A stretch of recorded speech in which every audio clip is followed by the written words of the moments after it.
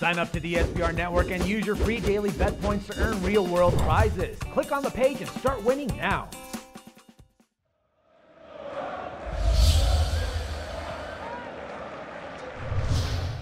Lions coach Jim Schwartz entered 2013 on one of the hottest seats in the NFL. And after the Lions collapsed down the stretch, he was an easy choice to be fired.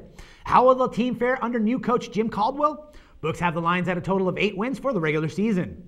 Lions have never won the NFC North. Their last division title was back in 93 when it was still called the Central. And they aren't likely to get a better chance anytime soon than last year. After all, the Packers lost starting quarterback Aaron Rodgers for essentially eight games and the Bears lost starting quarterback Jay Cutler for nearly six.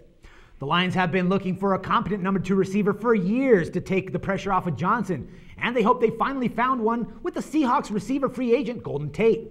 He led the Seattle Seahawks with 64 catches and 898 yards and 5 TDs. There's also talk that the Lions will target a receiver with their first round pick in the draft, maybe a trade up for Sammy Watkins. Detroit also re signed tight end Brandon Pettigrew. The major loss here were on the defensive end, which they lost defensive lineman Willie Young, safety Louis Delmas, and backup quarterback Shaun Hill.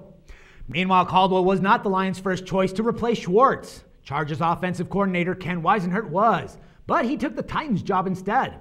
Caldwell spent last season as Baltimore's offensive coordinator, and that group struggled in a big way. Caldwell did coach the Colts from 2009 to 2011 and was 26 and 22. He did win two playoff games with Indy in his first season, which is more postseason victories than the Lions have since 1957, the year of their last title.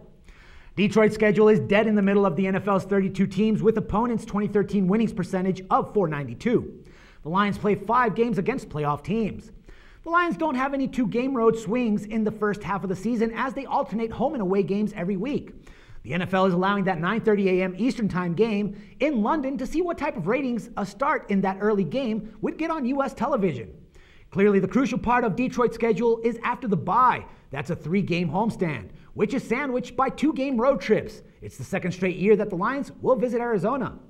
Winter weather figures to be a major challenge in Week 16 in Chicago and Week 17 in Green Bay. The Lions haven't been great in cold weathers.